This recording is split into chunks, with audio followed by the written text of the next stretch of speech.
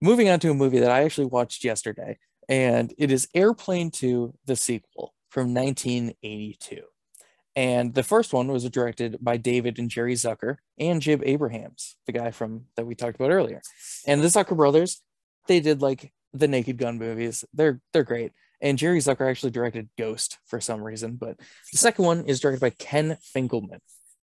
And overall, I thought Airplane 2 was okay as a sequel. They changed enough that it's like, hey, there's some funny stuff in here. But at the same time, a lot of the jokes are just like, nah, I saw this in the first one. Yeah. I have such an interesting fact for you about this movie. I was so excited to tell you this. And what is that? Uh, Ken Finkleman, the director of this movie. Mhm. So the reason he got the job for this is because he worked on a movie the same year that came out in 1982, and it's a movie that you and I both have not seen, and it's called Grease 2. So he was the writer of Grease 2, and Paramount, who made Grease 2 and also Airplane 2, they had a little situation on their hands. All right. They were like, hey, we made Grease 2. It didn't have much of the same cast members from the first Grease, didn't have the same director. You know, people didn't really like it. What are we going to do?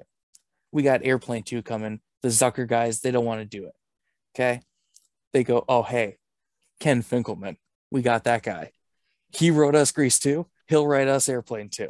So they hired him to write Airplane 2, and then they went, Hey, you're going to direct this movie. And he was like, I've Oh never my God. directed. And they're like, That's fine, man. You're going to direct this. So Ken Finkleman was the writer of both Grease 2 and Airplane 2, and then he directed it. That's fantastic. Yeah. I read that and was just like, wow, that is amazing.